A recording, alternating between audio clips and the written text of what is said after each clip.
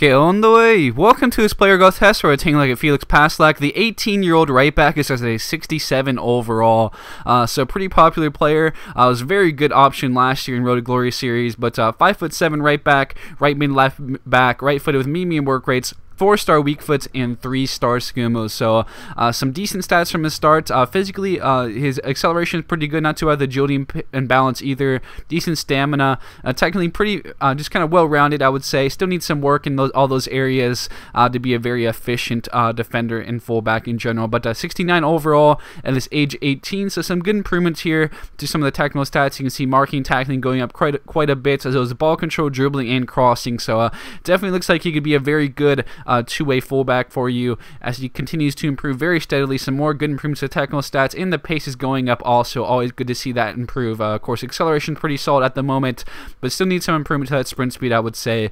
Uh, strength improvement is not too bad either. 70 strength is, is pretty good. He's going to be able to push some wingers off the ball. Uh, definitely will be able to contribute in that manner, be a very good uh, fullback, tracking back with that stamina and pace, be able to push those players off the ball with that strength occasionally. But now you can see a lot of dark green in those technical areas now at this 80 overall, so very good ball control very good marking, stand tackle, slide tackle, and short passing is very high also. Uh, looks like he'll definitely be in the dark green in the crossing, as you can see it now. This 84 overall, age 24 is what he would cap out at. Some really good improvements to the physical stats, as you can see, is huge improvements to the sprint speed, 20 plus to the sprint speed. Very good to see that type of improvements. And of course, technical ability improving a lot. The ball control, uh, the crossing, the short pass went up a lot, along with the marking, tackling. So you kind of see um, where the improvement is and the growth in general is kind of focused, I would say, for lot of these players when I do those comparisons. I think it's a good idea. Thank you guys for recommending to do that little comparison there.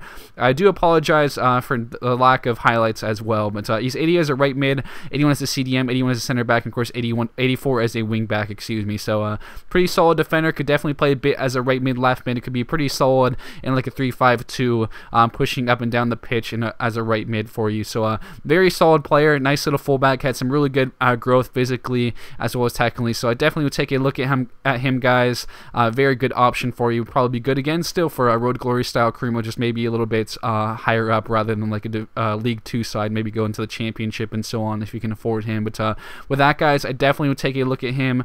Um, thanks, guys, for tuning in. I'll be signing out now, and I'll catch you guys later.